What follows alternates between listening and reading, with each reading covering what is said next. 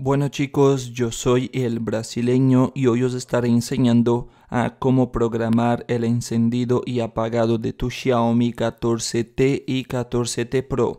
Lo primero que haréis será entrar en ajustes, bajaremos hasta la opción de batería y aquí le damos funciones adicionales.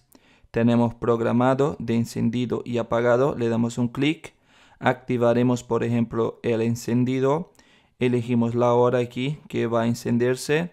Repetir todos los días entre semana personalizado puedes elegir los días de la semana le das aceptar y ahora le damos programar el apagado. El apagado las once y media de la noche repetir todos los días y bueno le damos aquí en guardar. Y ya estaría chavales. Si te ayudé no olvides suscribirte poner tu me gusta al video y dejar tu comentario un saludo a todos, chao chao y nos vemos en el próximo video.